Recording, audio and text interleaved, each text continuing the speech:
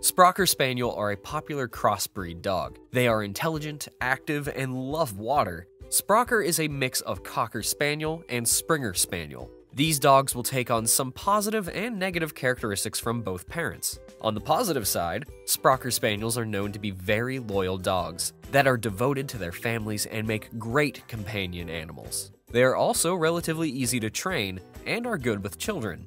On the negative side, Sprocker Spaniels can be prone to separation anxiety and may become destructive if left alone for too long. They can also be difficult to housebreak and may be too active for some families. Since they're a crossbreed, they can inherit the best and worst traits from both parents.